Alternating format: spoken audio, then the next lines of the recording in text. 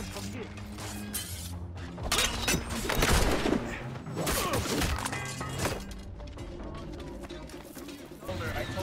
Randy Orton in a place we've never seen him before. Watch out, watch out, watch out, watch out! Oh my God!